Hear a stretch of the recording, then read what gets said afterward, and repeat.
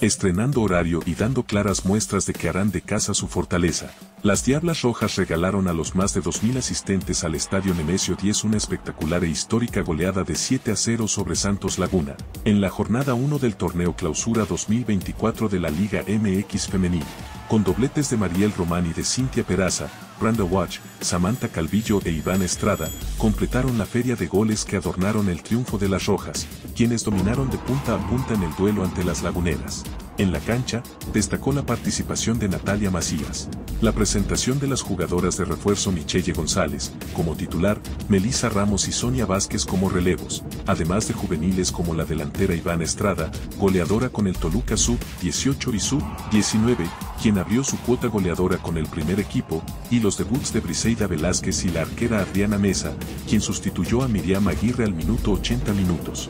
De aplaudirse también el juego de conjunto y es que con Gabriel Mago Velasco en su quinto torneo en el banquillo, Toluca Femenil se vio como un equipo con mayor madurez y no perdió la ambición de ir al frente pese a la abultada y tempranera ventaja. No obstante, fue la primera batalla y aún hay mucho que demostrar en la competencia. Por lo pronto, en la fecha 2, las Rojas visitarán el viernes, 12 de enero al Atlas, que en su debut cayó 2 a 1 frente al América. Gracias por ver el video y no te olvides de dejarnos lo que opinas en la cajita de comentarios, informó Eric Sánchez.